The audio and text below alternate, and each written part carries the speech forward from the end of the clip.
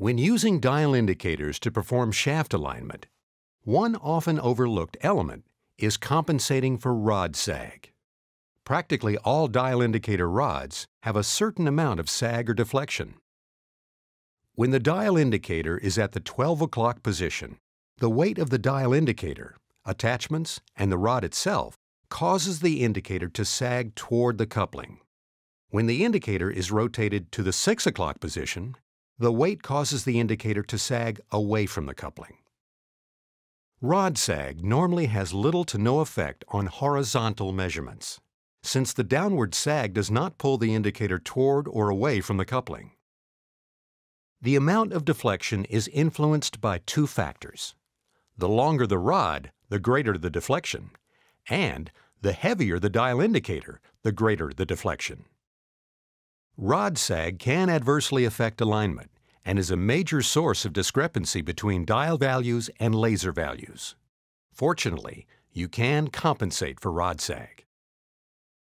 Checking for rod sag.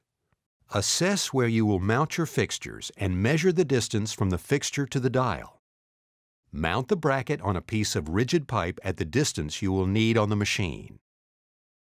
We measure sag on a pipe rather than on the shafts, so the amount of sag is not confounded with the amount of offset misalignment. Zero the dial at the 12 o'clock position, then rotate to 6 o'clock. The indicator should be reading a negative number. This is the amount of rod sag. Compensating for rod sag. After the sag has been determined, the dial set can be mounted on the machine to be measured. If you're using the Fixture Laser Dials app, input the amount of sag and the app will factor it into the alignment calculations. If you are not using an app with sag compensation, you can manually compensate by positioning the dial at the 12 o'clock position and setting the dial positive to the amount of sag measured. Pro tip.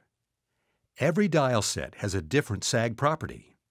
You may want to create a sag chart for each of the different length rods in your dial kit so you don't have to check for rod sag every time you do an alignment.